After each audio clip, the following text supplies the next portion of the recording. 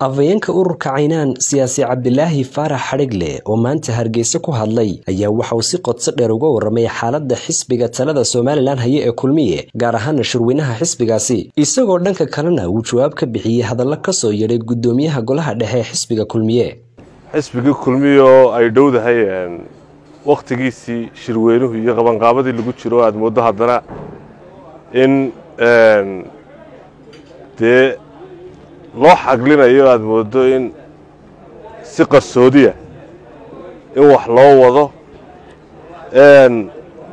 Waxaad mooddaa xisbigii kulmiye rajadii shacabku ka lahaa inay maalinba maalinta ka dambaysa ay hoos usi dhacayso.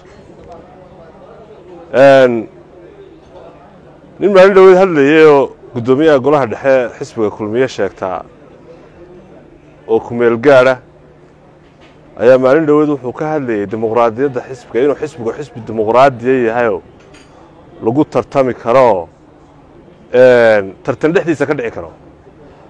Waxaan qabaa anigu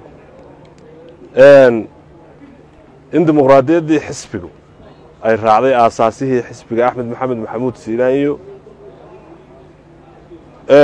sidaynu ognahay shirweynihii labaad ee xisbiga kulmiye ee ka dhacay burco balasa hotel. Axmed maxamed maxamuud siinaanyo waxaa kula tartamay hoggaanka xisbiga iyo hoggaanka dalkaba nimanaan xisbiga muddo ku jirin. Haddana waxaabaad mooddaa in faquuq ka jiro xisbigii kulmiye gudihiisiiyo.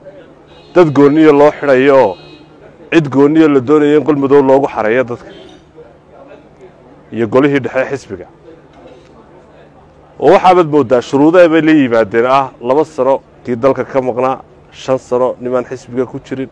Axmed maxamed maxamuud siinaayena waxaa kula tartamayey qaar sanad ku jira iyo qaar biro ku jira xisbiga.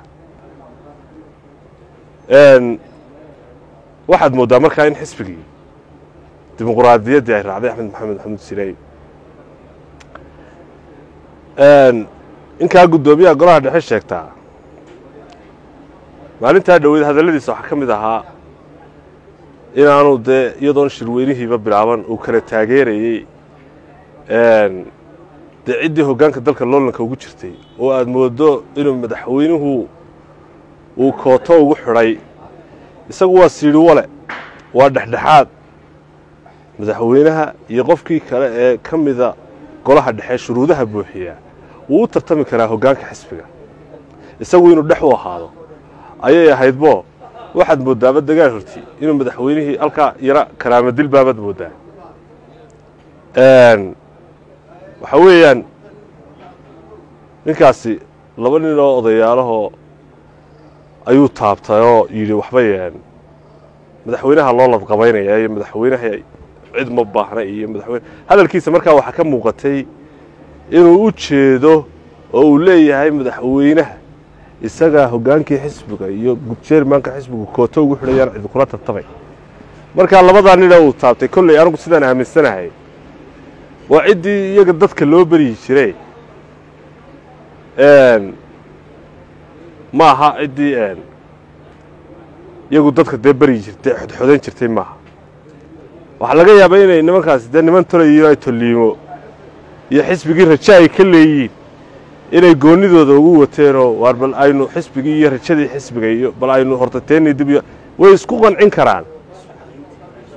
Iyo isku hayntii dadka iyo inay iyagu taa ka shaqeeyaan baaba dhici karto. Ay iyaga micnahooda iyo ujeeddadoodu ahayd inay taa sidii xisbigii u sii noqon lahaa xisbi jira.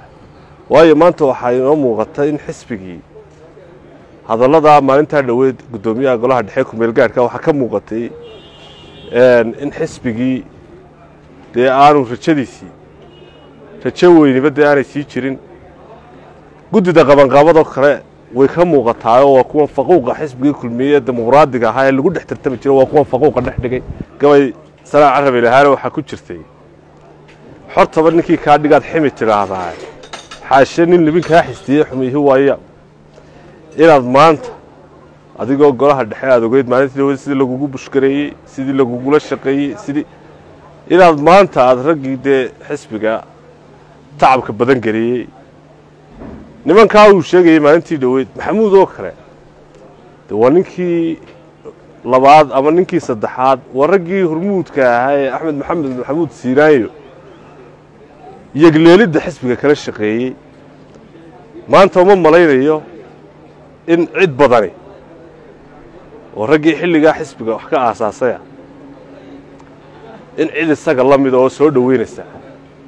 Hoggaanka xisbiga ha ahaatee xitaa inuu isagu uga horreeyey oo uga tacab badan yahay baan anigu qabaa. Cumar suberman telefishanka sahan. Hargeysa baxsane baxsane group of companies waa hormuudka shirkadaha soo dejinta iyo dhoofinta badeecadaha ee geeska africa baxsane group ugu kaalay dhammaanba qalabka dhismaha iyo qalabyada kala duwan ee biyaha soo dejinta raashinka qalabyada iyo nooc kastoo mashiinada wax soo saarka ah iyo tayrada gaadiidka yarar iyo kuwa waaweyn xaddi kasta iyo cayn kastaba.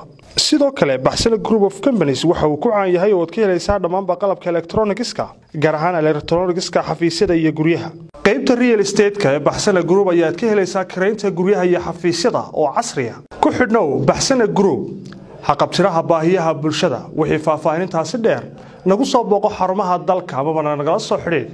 Telefanada hoos idinka muuqda. Ballanteennu waa baxsane baxsane group of companies